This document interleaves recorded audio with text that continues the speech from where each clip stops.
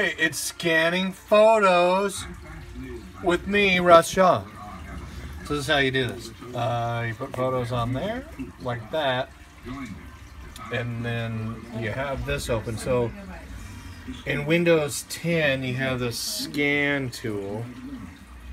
So you open that, and it brings you here. You want to have it on JPEG if you want to do JPEGs. They're the easiest files to transfer, crop, and play with and stuff. So JPEG. All right, and then you go close the lid. The really old photos. So we're gonna preview. We hit preview. See, previewing.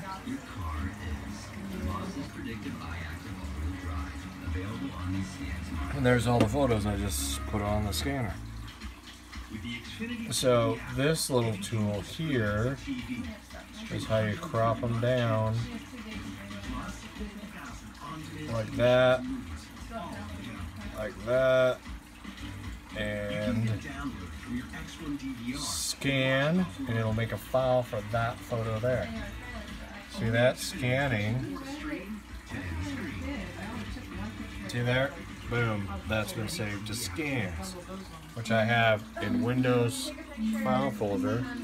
Scans is in the pictures area. Scans would be in the pictures area. So there's the scan and there's the photo right there. And it's that easy. If you have a photo like this that's upside down, you can flip it around. See, it's kind of big, anyway, you flip this photo around. Click on the right click on it and rotate right. We'll rotate it again. Rotate right. And there it is. So I'm using paint here, uh, which means you can resize if you want to. Resize pixels out 1700. You can knock that down to a thousand. That'll make it a little smaller and then a little easier to deal with.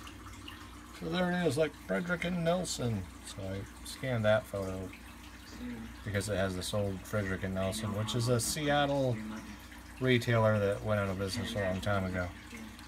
Now they're Nordstrom. They got bought by Nordstrom. So there's that. Uh, you want to hit the save button.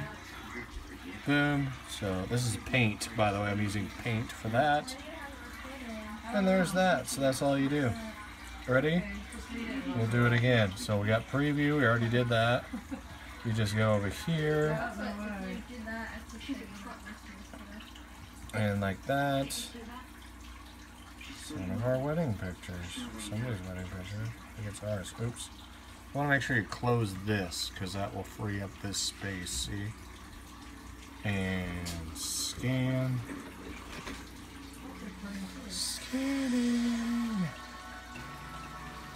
And there it is. It put it back in the scan folder. Look at that. And then close, and boom, you're done.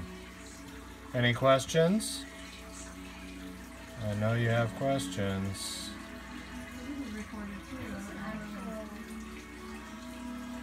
There we go. Take that. Scan. Not even sure who the young woman in this picture is. That's my Aunt Josephine, though.